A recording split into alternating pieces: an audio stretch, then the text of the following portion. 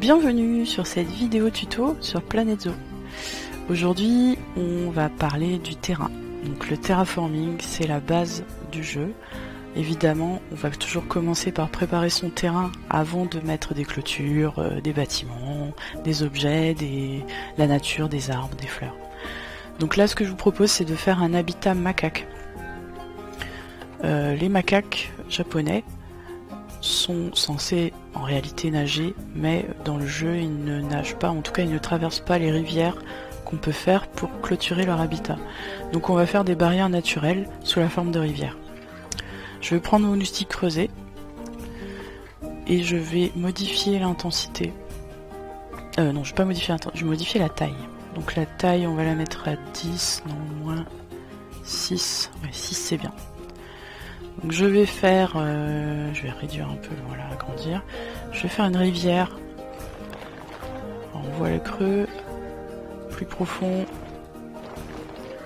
Il faut vraiment que ce soit profond. Ok. Là, je vais prendre l'outil aplanir jusqu'aux fondations. je vais mettre tout au fond de mon trou et je vais agrandir comme ça. C'est peut-être un peu profond quand même. Hein. On va remonter. Hein. Donc là je remonte un peu, ça vous permet de voir un petit peu comment on contrôle euh, les profondeurs. Voilà, ici je vais annuler un petit peu cette bosse, je reviens sur aplanir en fondation en prenant les terrains plats et en tirant. Je vais recreuser. 5-6. Voilà, on va rester là. Aplanir en fondation, je mets au fond du trou et je tire pour créer une rivière. Faut pas aller trop vite, sinon il va pas, il va pas tout prendre en compte.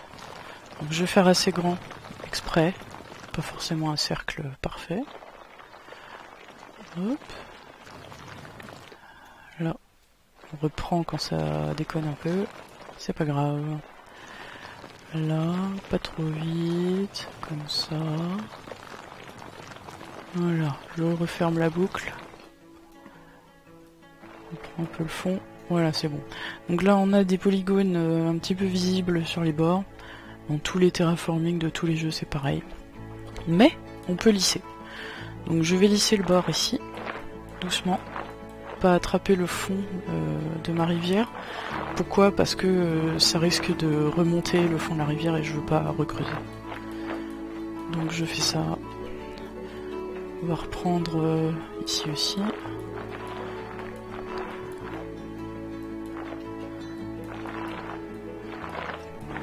on peut avoir un petit peu des, creux et des bosses, c'est pas gênant, c'est juste je vais éviter les pics. Donc mes polygones sont un petit peu plus lisses. Je finis ce coin là. Voilà, on est bon. Donc là on a le lit de la rivière. C'est l'entrée de mon zoo. Hein. Donc je vais faire... Euh, je vais positionner l'eau. Donc on a soit de l'eau calme, soit de l'eau agitée. L'eau calme est plus pratique pour les lacs. L'eau agitée euh, s'y est bien à une rivière. Je vais mettre le fond de la rivière ici. Pour enlever l'eau, je vais faire clic droit dans l'eau. Euh, une fois qu'on a, a mis l'eau, on ne peut plus modifier le terrain. Donc il faut vraiment bien préparer son terrain. Si jamais il faut modifier le terrain, on doit enlever l'eau. Donc là on voit bien qu'on a différents niveaux pour poser l'eau. Je peux la mettre ici tout en haut, ou juste là, ou très bas encore. Parfois vous auriez un peu de mal à poser l'eau, c'est normal. Euh, il peut s'agir d'un bout de terrain qui, descend ou qui remonte et qui empêche euh, l'eau de, se remplir. C'est pour ça qu'on aime bien utiliser l'outil aplanir jusqu'aux fondations, au fond de l'île, la rivière, pour avoir un, terrain euh, avec une hauteur homogène sur tout le, chemin euh, de la rivière. Je vais mettre mon eau agitée à ce niveau-là. Et voilà, nous avons une île sur laquelle on va mettre nos macaques japonais. Et ce qui peut être intéressant de voir maintenant, ça va être le reste des outils. Donc pour que mon île ne soit pas plate comme ceci, je peux utiliser les outils élevés, creusés, pour créer un peu de relief. Donc on peut faire des bosses on peut faire des creux. On peut utiliser l'outil crevasser sur une taille assez importante pour créer automatiquement, de manière euh, totalement aléatoire, euh, des bosses et des creux. Donc là, j'ai mis la texture en application automatique. Vous verrez sur plusieurs outils, cette texture euh, cet outil est disponible. On peut choisir échantillon, ça veut dire que si je prends lisser, euh, je prends creuser. Si je prends creuser et que je suis en texture échantillon, ça va prendre la texture qui est sous le curseur et ça va continuer à l'utiliser. Si j'ai un mélange des deux textures, ça va continuer à utiliser les deux. Si je change de texture, je vais mettre de l'herbe comme ça et un peu de terre ici. On va mieux le voir. On va élever. Ça utilise les deux textures, l'herbe au-dessus, la terre en dessous. Si je prends autre chose, utiliser la texture sélectionnée, on va voir quelle est la texture sélectionnée. On va mettre du sable. Utiliser la texture sélectionnée, je vais faire une bosse ici, elle se retrouve en sable. Le dernier essai, c'est avec l'application automatique, c'est celle que j'utilise la plupart du temps.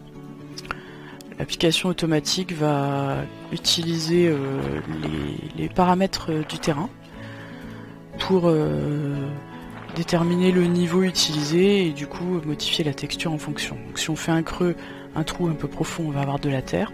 Si on élève le terrain, on va avoir de la roche sur les bords du terrain, comme ceci.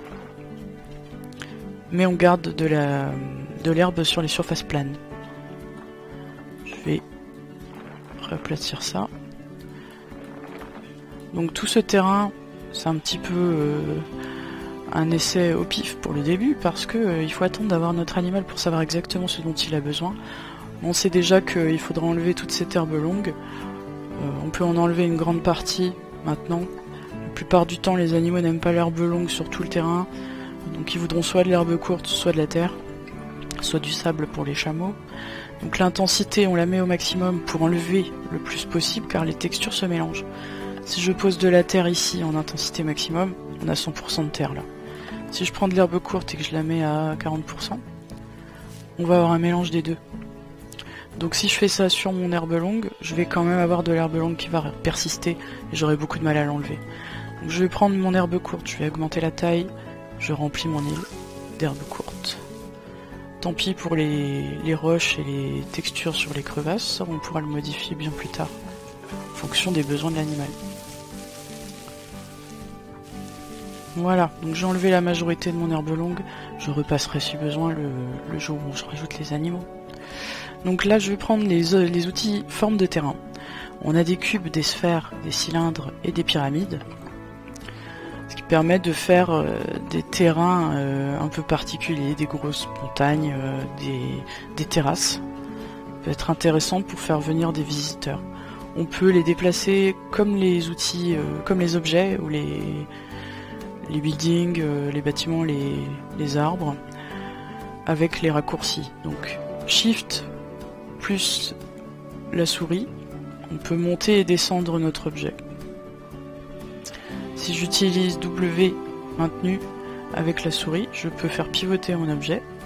Et si je veux avoir plus de détails dans les déplacements, je peux appuyer sur X pour faire apparaître les axes X, Y, Z et les outils de rotation.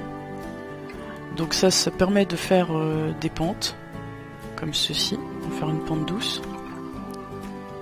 Je peux le descendre en appuyant sur X, je fais apparaître le deuxième outil. Voilà une pente que l'on va remplir. J'appuie sur OK et ça a rempli la forme que j'avais déterminée.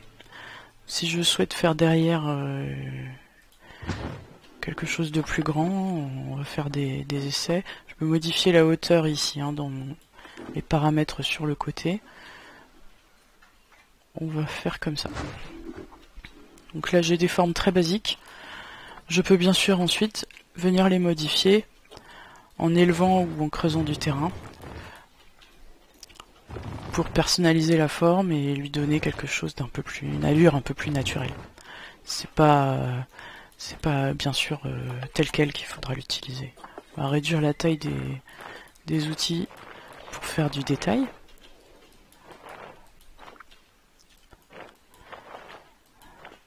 Là, c'est un petit peu plus naturel. J'utilise l'outil crevasse pour faire euh, plus de détails.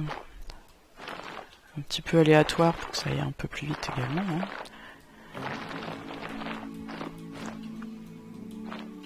Là on a une mini montagne. On peut faire une grotte à l'intérieur. Pour la grotte, je prends l'outil creusé, je réduis un peu la taille de l'outil. C'est très pratique dans les habitats pour les animaux qui ont besoin d'un abri solide, mais qui font des terriers ou des grottes. Je peux utiliser la planire jusqu'aux fondations pour créer le fond de la grotte. Et là, je creuse pour augmenter la taille à l'intérieur du rond que forme cette grotte. Et là, on a une grotte. Je peux avancer un petit peu euh, la terrasse qui se retrouve devant la grotte. On a une grotte. Donc je pense que nous avons fait le tour des, outils de terrain. La prochaine vidéo, ce sera les chemins. On va créer le chemin d'accès au public pour voir l'enclos de l'extérieur. Mais aussi, euh, grâce au macaque japonais, on a la permission de mettre un chemin au milieu de notre île qui fait rentrer les visiteurs pour traverser d'une porte à l'autre. Et on rajoutera aussi la porte du soigneur pour lui permettre de rentrer dans l'habitat. Comme c'est une île, c'est un peu particulier. On va, préparer tout ça euh, pour la prochaine vidéo avec des ponts.